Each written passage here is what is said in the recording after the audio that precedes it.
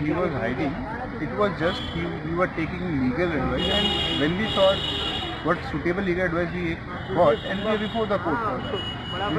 I will say at a very premature stage. It was not that stage that it should be issued, but the court was of the view that it is a fit case, and I will not have to comment anything on that.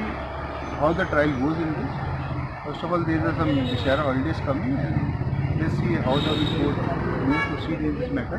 Delhi की Patiala house court में आशीष पांडे को एक दिन की remand पर भेज दिया है।